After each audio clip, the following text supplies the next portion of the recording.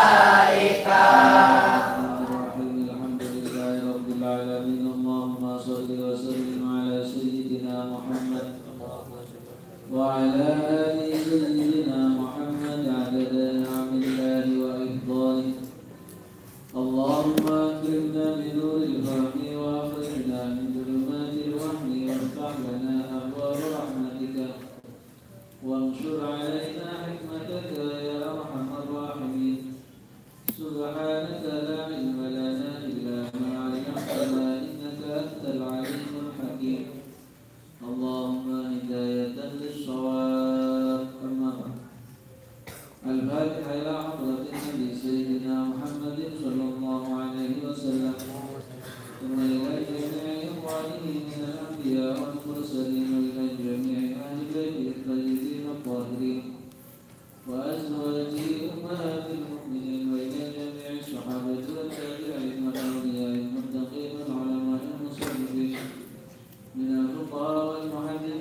不是口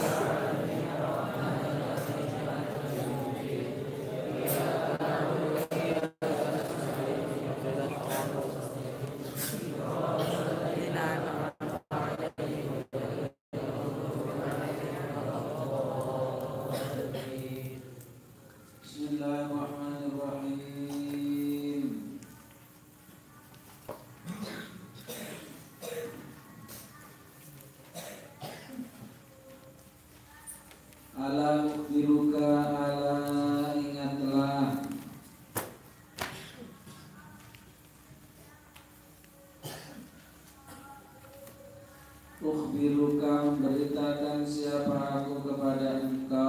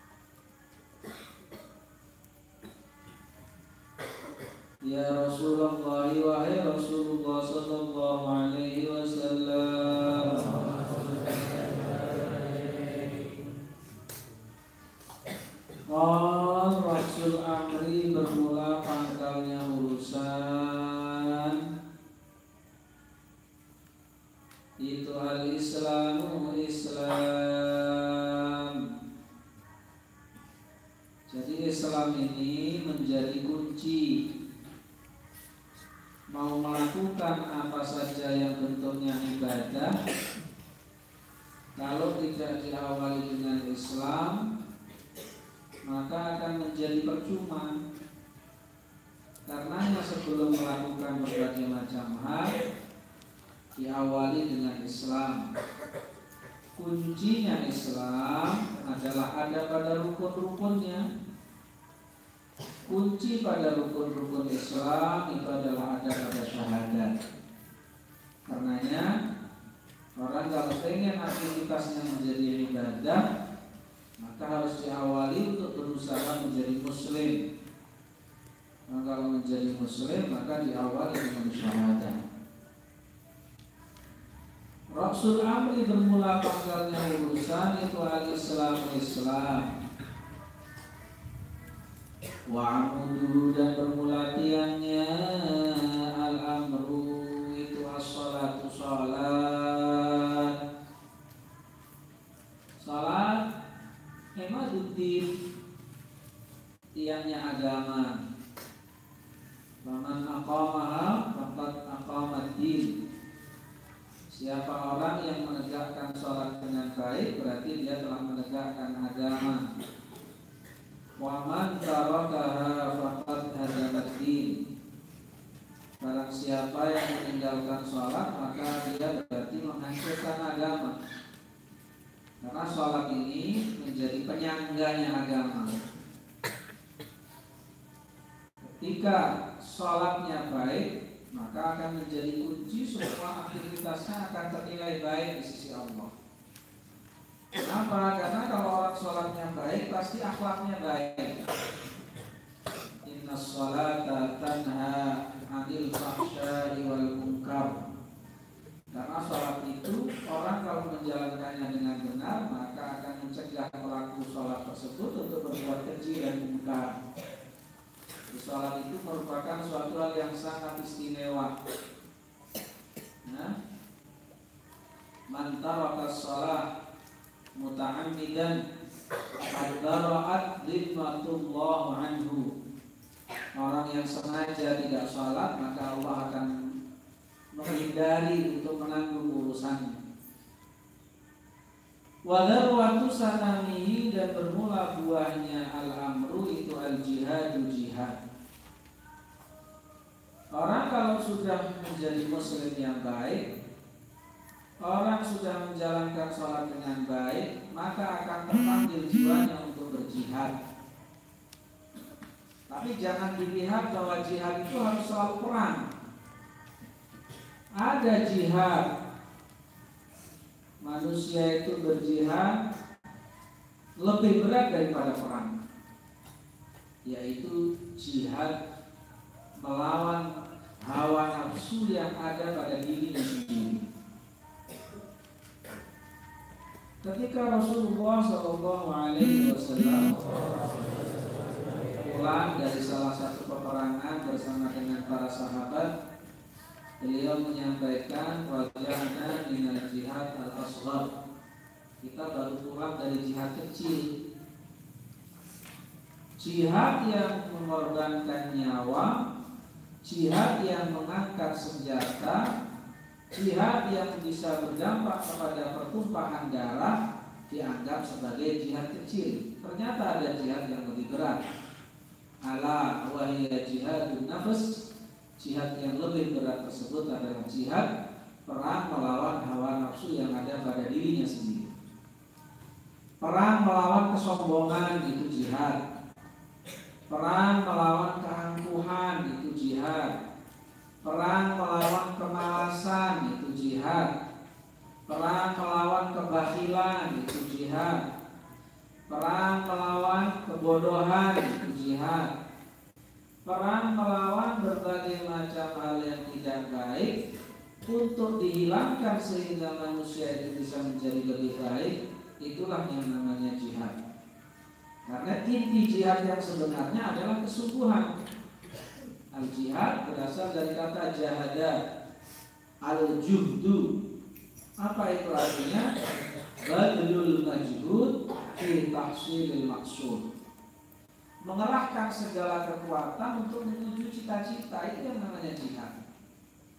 Ketika kita sudah mengerahkan segala apa yang kita miliki, semangat sudah, kesungguhan sudah, upaya untuk bisa memberikan dirinya wawasan ilmu yang lebih banyak sudah itu dilakukan semua namanya adalah jihad. Jadi jihad itu tidak boleh dipandang sebelah mata hanya sekedar apa namanya dianggap mengangkat senjata pedang saja itu namanya jihad. Tapi hakikatnya ketika kita belajar dengan sungguh-sungguh di dalam pondok pesantren itu juga namanya jihad karenanya orang yang ketika mencari ilmu dia wafat di tengah-tengah mencari ilmu maka dia wafatnya dicatat sebagai orang yang jihad bisa dilihat. Tumakala kemudian berkata bersabda siapa Nabi Allah ingatlah Ukhbiruka memberitahu siapa aku kepada engkau Di mana kiha di mana kilalika kullihi Dengan penguasa semua ini. Di mana kilalika kullihi dengan penguasa semua ini. Untuk menjawab siapa aku? Bala iya. Bala Ya Rasulullah wahai Rasulullah sallallahu alaihi wasallam. Fa'akhadha maka mengambil atau menjadi mengambil siapa Nabi bilisani dengan lisannya Nabi. Waqala dan bersabda siapa Nabi? Kufa jagalah oleh engkau. Kufa jagalah oleh engkau Alaika atas engkau. Hada ya ini lisan. Hada ya ini lisan. Biar kita bisa mencapai tiga perkara tadi Islamnya bisa menjadi bagus Sholatnya sesuai dengan keinginan dan aturan yang ada dalam syariat. Kemudian jihadnya bisa diberikan keberhasilan oleh Allah Subhanahu wa taala dengan mudah. Apa kuncinya biar semua itu sukses? Rasulullah sallallahu alaihi wasallam beliau menyampaikan ahada bilisanihi kufa alaika hada beliau mengambil jarinya ditunjukkan ke mulutnya jaga ini jadi manusia semuanya akan bisa menjadi berhasil apa yang dicita-citakan dengan penuh kemudahan apabila dia mampu mengendalikan lisan karena lisan ini berat dosanya lisan sesaat kadang tanpa, tanpa terpikir oleh manusia itu bisa meleburkan amal yang sudah dilakukan puluhan tahun lamanya. Dan bahkan pernah suatu saat Rasulullah SAW kedatangan tamu, kemudian tamu ini dikomentari. Ketika dikomentari oleh Siti Aisyah radhiyallahu anha, komentari kemudian Rasulullah SAW memperingatkan jaga komentarmu karena andaikan itu diteruskan maka air laut tidak akan mampu untuk menghapus dosa daripada apa yang ada dalam ucapan itu. Karenanya maka lisan ini penting. Manusia bisa hidup tenang antara satu dengan yang lain karena lisannya orang. Bisa juga manusia hidup tidak tenang antara yang satu dengan yang lain karena lisan orang. Apabila orang melakukan namimah mengadu domba, seperti yang sekarang terjadi peperangan di beberapa negara, itu adalah karena lisan. Mungkin lisan zaman dulu adalah mulut ini, lisan zaman sekarang mungkin bisa juga dimaknakan dengan media yang ada. Itu juga bisa dikatakan sebagai lisan. Karena di mana yang mengeluarkan berita, mengeluarkan kabar, mengeluarkan ucapan-ucapan atau ujaran-ujaran itu namanya adalah lisan.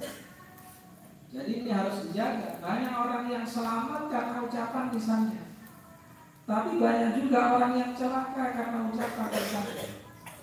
Maka para ulama mengatakan al-lisan kasabur. Lisan ini seperti binatang buas Ya, Kitab ilam tahrushu Kalau kamu tidak memelihara memelihara lisan itu dengan baik, maka dia akan menjadi binatang buas yang menerkam kamu dan mencabik-cabik kamu.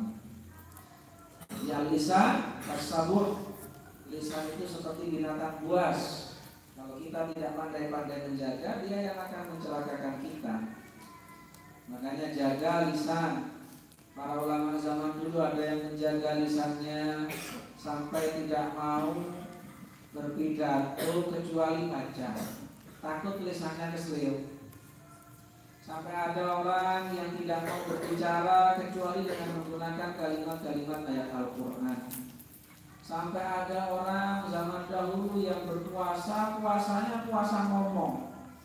Orang lebih berat puasa ngomong daripada puasa makan. Sama-sama mulut, yang makan mulut, yang ngomong mulut. Tapi puasa bicara lebih berat. Untuk apa?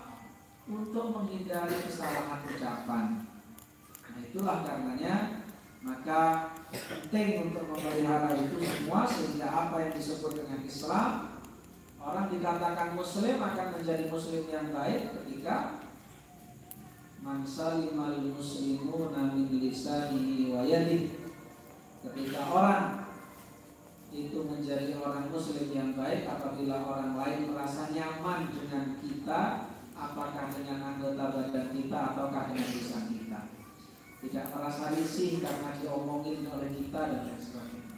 Itulah karenanya fa'akhala bilisanihi wa qala kuffa alaika ada. Jaga ini artinya mulut tersebut yang dimaksudkan. Perahu jamaah